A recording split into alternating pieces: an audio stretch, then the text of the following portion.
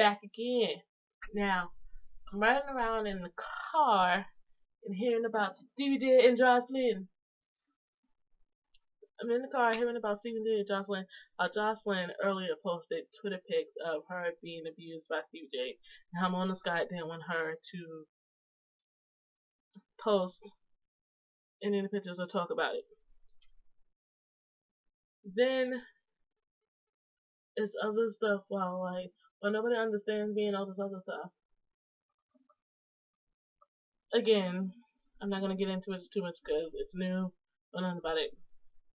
She posted pictures early on Twitter on her neck and then somewhere else. Nobody understands her and nobody's believing and fans are concerned and all her fans are telling her to leave him.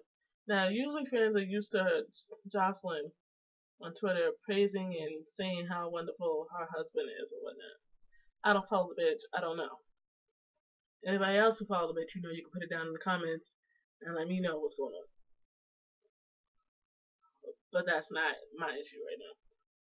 I don't follow her, but so what I read on the article is that they're thinking that she could have been hacked.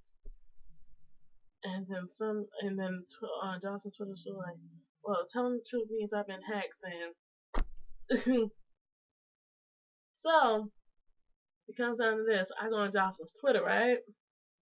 She has an Instagram video saying that she's okay, she was hacked, Steve J didn't put his hands on me, and all this other stuff, and why not?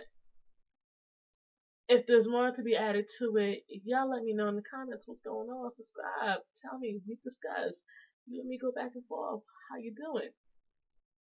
So, let me know what's going on. Subscribe to me. We'll talk. Me talk. Talk. Okay.